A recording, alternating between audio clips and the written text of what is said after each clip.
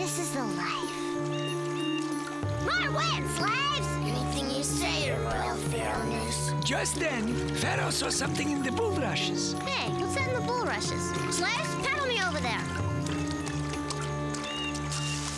Hi, I'm Moses. Pleased to meet you. I'm Pharaoh. I run this place. Where you from, Moses? Uh, up the river, I guess. Hmm. Well, come on, I'll show you around.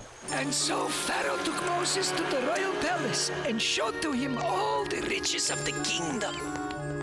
Neat! Yep, and it's all mine. And take a look at that. Wow! Pretty good likeness, won't you say?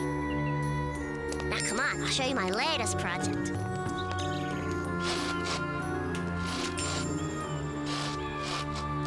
Well, that's it. All finished. And this is going to be my masterpiece. It's called a pyramid. Chuckie, what have you done? What's wrong, Pharaoh? I built it just like you said. Oops. And this is my throne room. Wow! Come on in. Huh? Ah. Wow! An ancient Egyptian reptile bar. Now this is what I call civilization.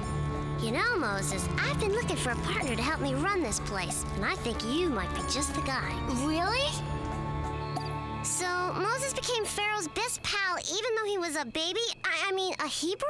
Well, yes, at first. But you see, Pharaoh didn't know Moses was a Hebrew. He thought, Chuckie, Tommy, Boris. don't close the door.